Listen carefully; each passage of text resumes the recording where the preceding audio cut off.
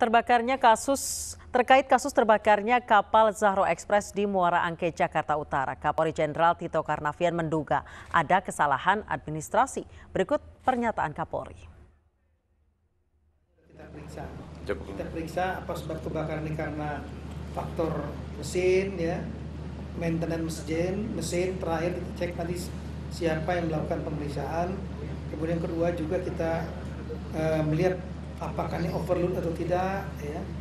Jumlah yang berangkat tapi kita memang melihat ada sistem manifestasi yang eh, manifest yang eh, administrasinya tidak benar